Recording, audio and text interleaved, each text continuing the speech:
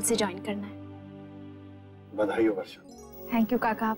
वर्षा बेटा हमें गर्व है तुम पर। थैंक यू बाबू जी और मैं कोशिश करूँगी कि आपके इस गर्व को हमेशा बनाए रखूँ। सबसे अच्छी बात तो ये है वर्षा कि तुम्हें अनन्या के स्कूल में ही नौकरी मिल गई। यही तो चाहती थी तुम। अरे दादू आ गए। दादू बाबूजी, मैं जमाई साहब से बिज़नेस अलग कर रहा हूँ।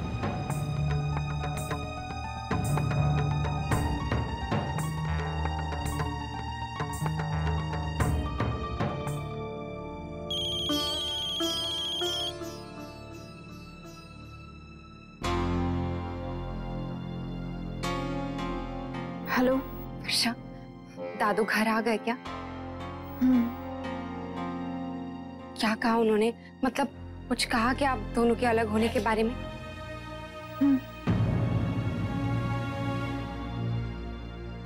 क्या होगा वर्षा? पता नहीं अक्षरा मुझे तो कुछ समझ में नहीं आ रहा है। अच्छा बाबूजी ने क्या कहा? वो नाराज़ थे और परेशान भी। मुझे पता था। बाबूजी कभी नहीं चाहेंगे कि दोनों अलग हों। अक्षरा मुझे तो लगता है उन दोनों ने ठान ही लिया अलग होने। क्या होगा, अक्षरा? पता नहीं, वर्षा। मुझे तो कुछ भी समझ में नहीं आ रहा है। मुझे भी।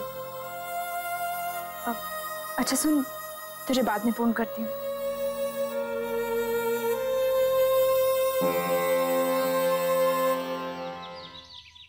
पहले ये दूध खत्म करो, उसके बाद आपके बाल बनाती। लो। पियो ना बेटा क्यों परेशान कर रहे हो? पियो। अनन्या बेटा सुबह सुबह अपनी मम्मा को परेशान मत करो हम्म? Varsha. All the best thanks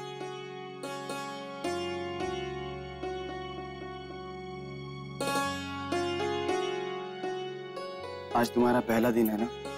अच्छे से मन लगा के काम करना। और हाँ कोई भी इधर उधर की बात दिमाग में मत आने दे। चलता हूँ।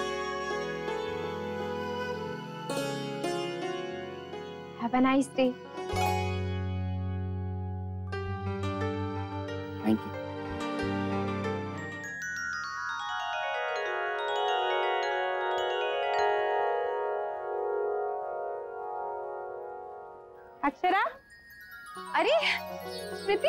हाय कैसी है? हाय मैं बिल्कुल ठीक हूँ। माँ ये स्मृति है मेरे कॉलेज में मेरे साथ पढ़ती थी। नमस्ते आंटी। सो क्यूट ये तुम्हारा बेटा है ना? बहुत क्यूट है। कितने महीने का हो गया? छह महीने का हो गया है पर मुझे देख के लगता नहीं है ना। और तू? तूने अपने आप को बड़ा मेंटेन कर रखा है। भाई हमारा वेट तो कम ही नहीं होता है। कोई बात नहीं स्मृति हो जाएगा। टेंशन मत लो। कब से सोच रही थी कि जिम ज्वाइन करो। मेरे घर के बिल्कुल पास एक बहुत अच्छा सा हेल्थ क्लब है स्टेफन मैं कल वहाँ गई थी तो पता चला कि वो बंद हो रहा है। अब लेकिन किसने कहा कि वो हेल्थ क्लब बंद हो रहा है? अरे वहाँ के मैनेजर ने। कल मैं और मेरी दो फ्रेंड वहाँ पर गए थे पर उन्होंने हमें मेंबरशिप ही नहीं दी।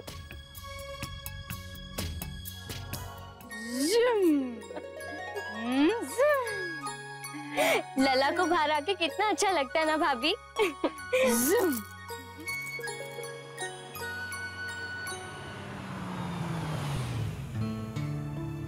पापा आ गए। देखो जुगू पापा आ गए। उठो उठो उठो उठो।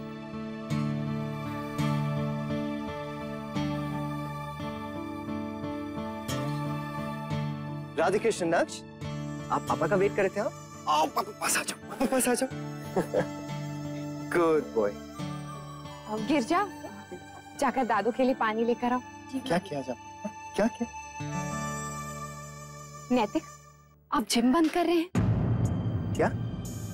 नहीं तो? ये किसने कहा आपसे? वो सब छोड़िए सच सच बताइए नैतिक।